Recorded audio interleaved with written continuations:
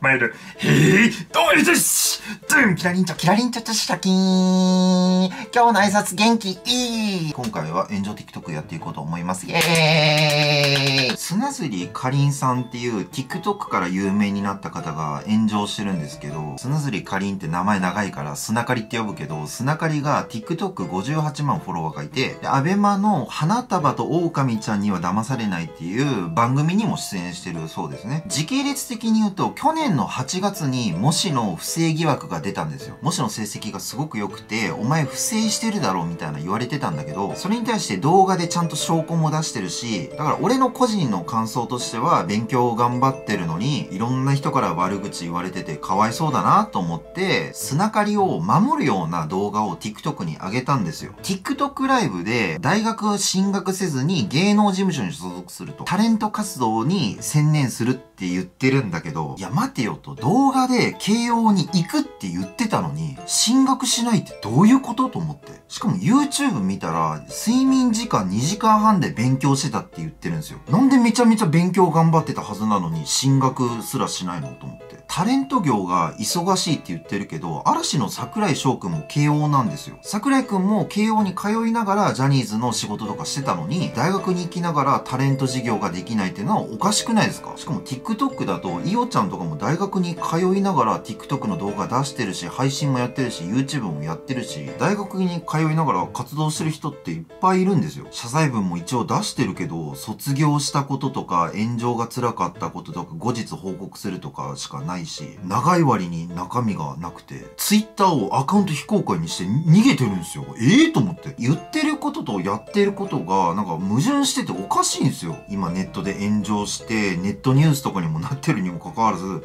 TikTok で踊ってみた動画とか出してるし、これなんか裏あるなと思って調べたら、色々分かってきたことがあるんだけど、砂刈りってそもそも動画どうやってスタートしたんかなって過去を調べたら、仮面高校生ってやつのところからスタートしてるみたいなんですよ。この仮面高校生ってやつがめちゃめちゃうさんくさくて、TikTok で一般人に仮面つけた状態で声をかけて、仮面外したらイケメンでしたみたいな感じで女の子とかがキャーみたいな感じのね、動画を出してるんだけど、こういうのってあくまでも一般人のリアクションが面白いのであって、仮面高校生自体が面白いわけじゃないのよ。で、TikTok である程度バズって、YouTube ではそんなに結果出してないはずなのに、シルクロードくんと結婚したユンちゃん、元番優のユンちゃんとか、シミケンさんとかコラボしてるんですよ。これめちゃくちゃおかしくて、そもそも仮面高校生とコラボするメリットなんてなんもないんですよ。仮面高校校生は TikTok である程度バズった程度なんですよ。なのにユンちゃんとつながりがあるっておかしいんですよね、どう考えても。ということは、この仮面高校生ってやつは何らかの裏のつながり、YouTuber 界隈とか芸能人界隈とかのつながりとか、会社を運営してるか、会社に所属してるか、どれかだと思います。あと、普通に高校生じゃないと思うし、仮面高校生ってそんなに動画も出してないのにバズってるんで、相当ずる賢いやつだと思うんですよ。金儲けが得意。で、編集もかなりできる。そして、人を利用するのがうまいと思うんですよね。砂ずりかりんさんじゃなくて、仮面高校生の方が怪しすぎる。おそらく、主犯は男でしょうね。ということで、仮面高校生、あー、間違えた。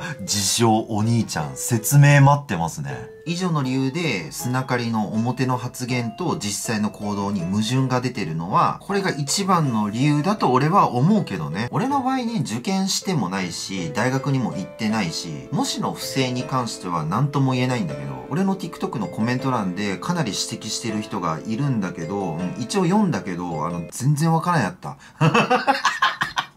すいません、あの、IQ が低めなんで、すいません、本当に。もしの不正疑惑に関しては、俺は本当によくわかんないから、あの、もごチャンネルさんっていう人を、なんかいろいろ解説してるから、そっちの方を見てください。Twitter が結構荒れててね、砂ぞりかりんが不正を認めない理由、INFP 妄想大好き、虚言癖だらけだからもう何も信用できない活動していく中で、KO ブランドは砂ずり的には絶対欲しいもので隠す必要が全くないのに、この声明文出す時点でダウト。砂ずりかりんはおそらく AO で行こうとしたら、AO 落ちて一般で行く学力も当然ないから KO 諦めめた。AO ってなんだ？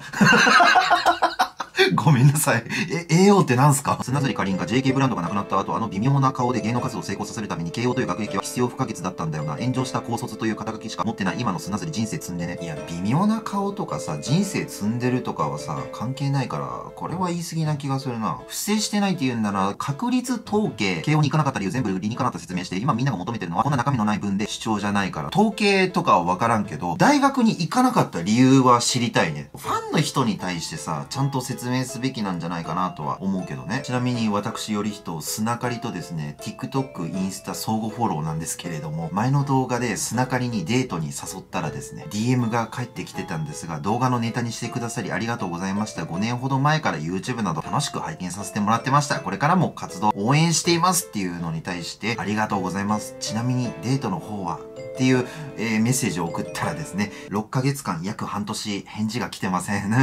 なんで？許せない許せない今回ね、砂刈りが敵に回した相手が悪かったね、本当に。あの、受験界隈とか、浪人界隈とか、あの、学歴中的な人とか、そこのね、界隈って、めちゃくちゃ治安悪いのよ。なぜ治安が悪いかというと、こういう人たちは、めちゃくちゃ心にストレスを抱えてると思うんだよね。例えば、テストの成績とかって、人に言いたくないと思うんだよ。自分が何点取ったとか、成績の順位が何位だったとか、人にに言いにくいから、誰も共感もしてくれないし、慰めてもくれないわけよ。そうなると、孤独感が強くなって、Twitter っていう居場所にを求めてしまうと思うんだ。ストレス溜まってるから、どこかに八つ当たりしたいはずなんだよね。で、今回砂刈りが出てきたって感じなんだと思うけどね。俺も実はね、受験戦争みたいなのとかやらされてた時期があって、俺の場合は小学生の時に進学塾に通わされてたんだけど、塾の教師に言われてたのが、中学受験とかに受からなかったら負けだみたいな。言われてたの。俺の通ってた塾は成績順にこうクラスが分かれてたんだけど、俺は一番下のクラスだったの。同じ学校の奴らとかさ、上のクラスにいると、やっぱ劣等感をすごく感じてしまうわけよね。テストの点数とかもちゃんと名前と点数が表示されてみんなに配られるわけよ。そんな中でよ、自分が成績が悪い下のクラスっていう状況で、中学受験受かるのかなっていう怖かったね。小学生なのに、毎日怖かったんだよ、本当に。俺の場合は、たまたま田舎に引っ越すってなったから、中学受験せずに済んだのね。高校に関しても田舎だったから、定期テスト50点以上取れてれば入れるよみたいな高校に入ったんだけど、ただ俺は数学とか好きっちゃ好きだったから、理系入っちゃったんだよね。で、理系のクラスが、女の子は看護師の専門学校に行くっていう感じだったんだけど、男はみんな、あの、国立か私立の大学に行くっていう感じで、唯一俺が専門学校だった。一応理学療法士の学校、専門学校行ってたんだけど、ただね、周りが大学に行ってて、で、俺は専門学校だから、地元で一緒だったやつと絡んでたけど、みんな大学行ってて、大学の話とかして、で、俺は専門学校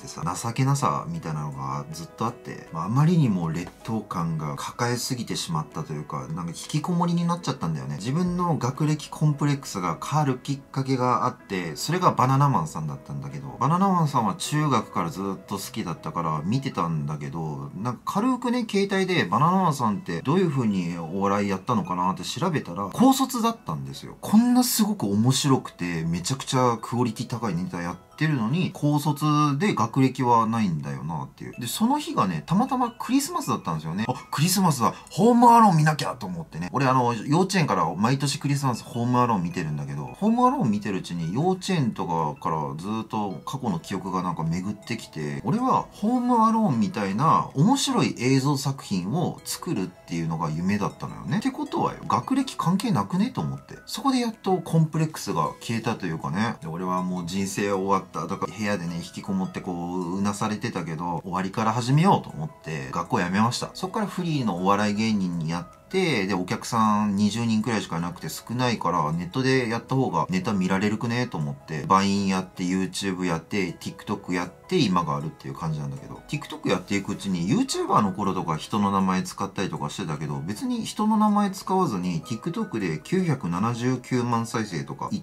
て、ちゃんと俺面白い映像作品作れてるなと思ってね。あれ俺夢叶ってるじゃんっていう。え、夢叶ってたんだって気づいたんですよ。俺は犯罪者だから説得力ないのはもうめちゃめちゃ自覚あるんだけど、果たしてよ、テストの成績とか学歴って本当に人生で大事なものなのかなって思ってしまうんですよ。小さい頃に何をしたかったかっていうのを思い出してみるといいかもしれないね。今回の件をまとめると、くれぐれもね、騙されないようにね、受験に関しても学歴に関してもそうですよ。果たしてじゃあ親とか教師が言ってることが本当に正しいことなのかっていうとね、そうでもないし、だからといって俺が言ってることが正しいとも限らないし、今の時代ネットっていうものがあるんだから、自分で色々検索して調べて、何が正しいのかを自分で判断して行動した方がいいんじゃないでしょうか。ということでね、えー、たまにはちょっといいこと言うよりちゃんでした。最後にですね、ここまで動画を見ていただいた方々にですね、プレゼントがあります。えっ、ー、と、ぜひスクショしてください。